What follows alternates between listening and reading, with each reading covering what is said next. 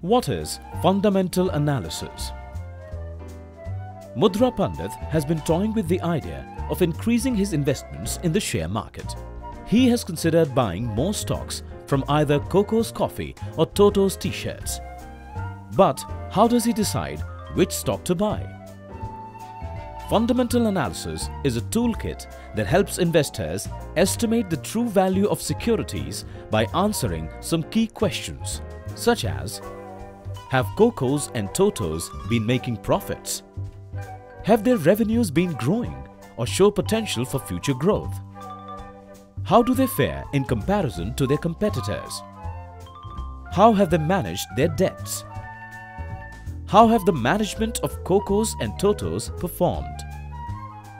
What is the macroeconomic situation of the coffee and t-shirt industries? Mudra Pandit goes through the financial statements of both companies to analyze their financial operations, sales, earnings, assets, debts, etc. He also studies the general norms and regulations affecting the future prospects of the two industries.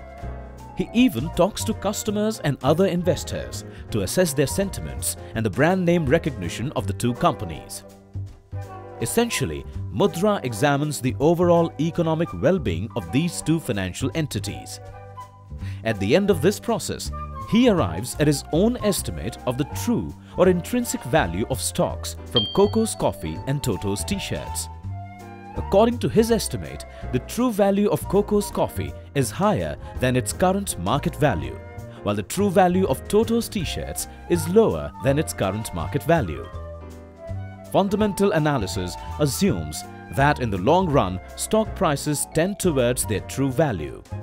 Therefore, Mudra Pandit decides to buy more shares of Coco's Coffee and sell his shares of Toto's t-shirts. Key points to remember are Fundamental analysis is relevant for long-term investments.